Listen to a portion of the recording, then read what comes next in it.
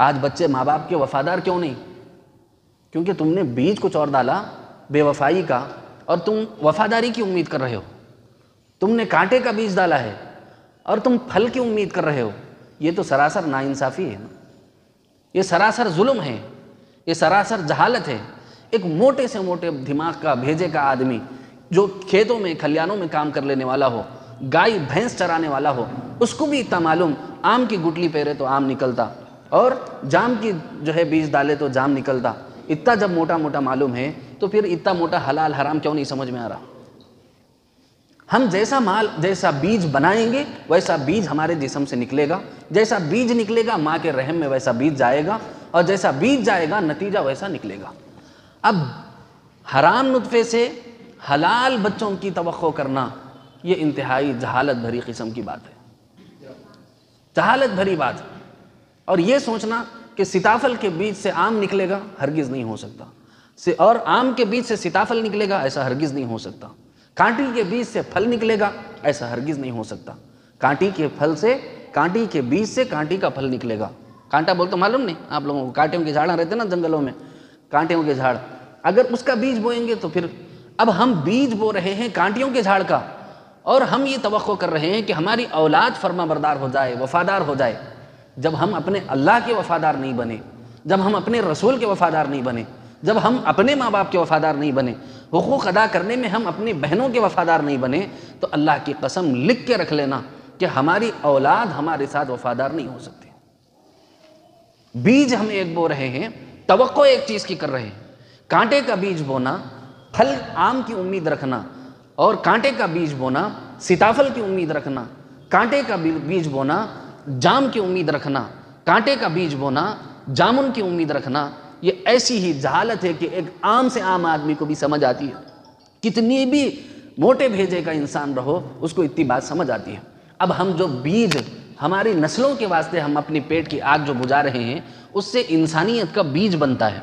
यानी मैं खाना खा रहा हूँ, पानी पी रहा हूँ, मशरूबात पी रहा हूँ और दही खा रहा हूँ, और मैं सीताफल खा रहा हूँ, और जाम खा रहा हूँ, और आम खा रहा हूँ, और क़ुत से मुतल चीज़ें बादाम, किशमिश और अखरोट खा रहा हूँ तो अब ये चीज़ें जा कर के ताकत बनती हैं। कई के इंसानी बीज बनाने की ताकत बनती है। एक और इंसान को प्रमोट करने की ताकत बनती है। जब ये ताकत बनती है अंदर उनमें तो फिर अगर आप इस बीज को हराम तरीके से पालेंगे तो वह हराम तरीके से निकलेगा। जो हराम तरीके से निकलेगा, फिर वह हराम पे चलेगा। उसके अंदर वफा की उम्मीद नहीं। आज आप देख लीजिए, सेवेंटी से एटी परसेंट वालदेन अपने बच्चों को हाँ पर पाल पोस कर, इतनी मोहब्बतों से पाल पोस कर कि पहले इतनी मोहब्बतों की तो भी नहीं थी। बाप, चालीस दिन में एक मरतबा बच्चे की सूरत देख लिया तो बहुत हो गया था। आज जो है ना, बच्चों को चूमते चाटते जो है ना अम्मा बाबा ज़िंदगी की दोपहर कर डालते। हाँ उठा उठा के उसे अपने सीने से लगा लेते। लेकिन पहले के बच्चों के अंदर वफा थी। आज के बच्चे बेवफा निकल रहे हैं। क्यों बेवफा निकल रहे हैं? मैं एक दो ने ऐसे बीसियों वाक़ात आपको सुना सकता हूँ, जिसके अंदर हम रोज़मर्रा हमारे पास ऐसे केसेस आते हैं, जिसके अंदर बच्चों ने अपने माँ बाप को लात मार के घर से निकाल दिया। जिसके अंदर अपने माँ बाप के साथ बदतमीज़ी से बात कर रहे हैं, बदअखलाक़ी से बात कर रहे हाँ बेहूदगी से बात कर रहे अरे तुरे आगे जागे अम्मा को अस्तफ़िर रबी मिनकुल ज़म्बी अम्मा के साथ, जिसको कुरान मजीद कहता है, वला तकुल्लहुमा उफ़िन वला तनहरहुमा वकुल्लहुमा कौलन करीमा। अपने अम्मा बाप, अम्मा बाबा के साथ ऊह बोल के भी नहीं बोलना। बच्चों, सुनो गौर से। अपने अम्मा बाबा को ऊँह बोल के नहीं बोलना। दही लाओ बोले, दूध लाओ बोले, करिया पाक लाओ बोले कोतमीर लाओ बोले, तरकारी लाओ बोले, टमाटे लाओ बोले दाओ जी अम्मी बोल के नहीं बोलना। हराम है, शराब पीने वाला जितना बड़ा गुनेगार है, अम्मी अब्बा को ऊँ बोलने वाला उतना बड़ा गुनेगार है। हाँ। कुरान का हुक्म है, वो भी कुरान मना करा सो है, ये भी कुरान मना करा सो है। उसको तो मानने को तैयार है, शराब को बुरा समझने को तैयार है। लेकिन अम्मा बाबा को ऊँ बोलना गुना नहीं समझते कुरान कहता है, वला तकुल्लहुमा उफ खाली उफ बोल दिया तो शराब पीने से भी बदतर गुना है। एक से दो कामा लगाते बच्चे बोलते अजी जाओ जी अम्मी कुरान बोल रहा, दो हर्फ भी नहीं बोलना, उफ बोल के भी नहीं बोलना। जाओ जी अम्मी में कितने हर्फ आए? जाओ जी बाबा, तुम्हें देख लो। ये तमीज़ है हमारे बच्चों की। ये अखलाक है हमारे बच्चों के। ये क्या चीज़ है? ये वहाँ से काम कर रहा है। अपने अंदरून में हमने हलाल नहीं डाला। तो अभी ये बेवफाई की वो बचपन से लोग सूंघ रहे हैं। फिफ्थ में जान दो सेवन्थ में जान दो बच्चे को टेंथ में जान दो। देखो, तिगनी का नाच नचा रहा अम्मा बाबा को। बाज ऐसे बच्चों को भी देखा गया है। वालिदैन अपने अपने वालिदैन दवा लेने के वास्ते पलंग से उतरकर डेस्क तक नहीं जा सक रहे हैं। हाथ कप कपा रहे हैं उनके।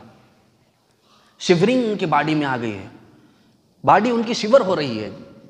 डगमगा रही है। हाथ काँप रहे हैं। कोई बच्चा उनको बाजू खड़े होकर दवा देने को तैयार नहीं। ये जो, इन्हें भी सजा भुगत रहा। और बच्चे भी इस कदर नाफरमान। क्यों? प्रोडक्ट जैसा है, उसका रिज़ल्ट वैसा होगा। प्रोडक्शन हम कैसा करें? अगर हमारी प्रोडक्शन सही होती, हमारा मटेरियल सही होता तो फिर जो है ना, उसका रिज़ल्ट भी बेहतर आता। हमारा प्रोडक्शन गलत है तो उसका रिज़ल्ट भी गलत आ रहा है। इसीलिए माँ बाप से मेरी गुजारिश है, और नौजवान बच्चों से जो शादी ब्याह कर रहे हैं, उनसे मेरी गुजारिश है, कोशिश ये करो कि हलाल लुकमा अपने अंदर में जाए। भले ही दो लुकमे कम खा लो, भले ही एक वक्त का नागा कर लो अल्लाह की कसम, अगर आप अपने बच्चों से वफा चाहते हो, अगर आप अपने बच्चों से वफा चाहते हो तो अपने पेट में हलाल लुकमा डालो और हलाल मशरूब से अपना गला तर करो। हराम खाएँगे और हराम मशरूबात निकलेंगे तो फिर आप समझ लीजिए कि फिर आप उससे हलाल की तो नहीं कर सकते। बस किसी के साथ अगर कोई करिश्माती तौर पर अल्लाह चाहे तो वो हो जाना अलग बात है। लेकिन उमूमन कायदे कुल्लिया ये है कि जो है जो हराम खाएगा फिर उसकी नस्लों पर उसका असर पड़ेगा। कांटे के बीज बोएगा तो फिर कांटे के दरख्त ही पाएगा। इस वजह से कुरान मजीद में अल्लाह बड़ी प्यार से बड़ी मोहब्बत से समझा रहे हैं ए इंसानों तुम लोग ज़मीन में हलाल खाओ और तय्यब खाओ। हलाल खाओ और तय्यब खाओ। हलाल और तय्यब खाने की वजह से अल्लाह नस्लों में दीनदारी पैदा करते हैं वफ, वफादारी पैदा करते हैं। वफादारी आती है इंसान के अंदर नस्लों के अंदर। हाँ इतने नाजो नखरे उठाने के बाद आज वालिदैन करोड़ों की जायदाद छोड़ करके भी जाते हैं तो बच, बच्चे अपने माँ बाप को पलट के देखने को तैयार नहीं। कोई उनकी खबर पे जाके सूर्य फातिहा पढ़ के बख्शने को तैयार नहीं। कोई चार खुल पढ़ के उनकी बख्शिश की दुआ करने को तैयार नहीं। कोई उनके जनाजे में खड़े होकर उनकी नमाज़ पढ़ाने को तैयार नहीं। हम उनके वास्ते पूरी ज़िंदगी हम मलियामेट करते हैं। जो हमारे लिए हाथ उठाकर ये दुआ तक नहीं कर सकते, अल्लाह इनकी बख्शिश का सामान कर दीजिए। अल्लाह मैं आपका ये कलाम पढ़ रहा हूँ। अल्लाह के रसूल का ये कलाम पढ़ रहा हूँ। इसकी बरकत से आप बख्शिश का सामान कर दीजिए। कोई हाथ उठा के दुआ करने वाला